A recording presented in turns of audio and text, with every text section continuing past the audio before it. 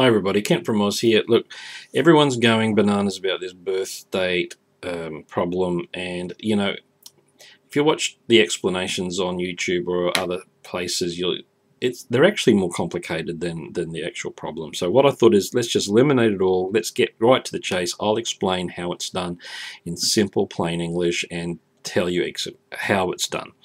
All right, so Cheryl has her birthday and month, and she's told Albert which month it is and Bernard which day it is, but not any more information.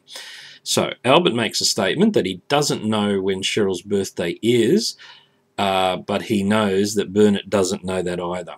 Now, because of that, if you have a look at what they know and that statement, you basically are looking for some unique numbers. Now, all of the choices here have a pair, so there's 16 and 16, 15 and 15, 14, 14.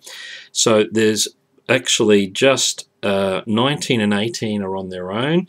Now, and that's the case, then you can basically eliminate May and June okay, because of that fact that uh, the individual numbers or unique numbers um, uh, are there. So Bernard then says, well, look, at first I didn't know what Cheryl's birth date was, but he knows now.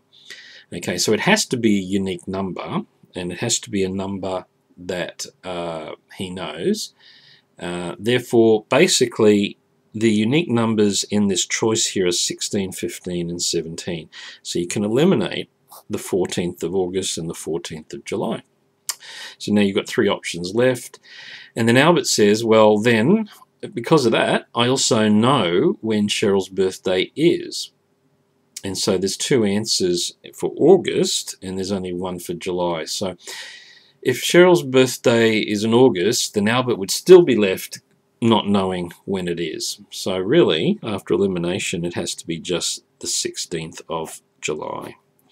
So what you have to do is look at the statements and work out backwards and forwards what is eliminated when every person says each sentence and that's basically it. So the answer is July 16th and um, you know uh, as I said I'm a little bit over this and so hopefully that clears it up for you. And this is Kent from Oz saying enjoy puzzles but hey world move on. See another video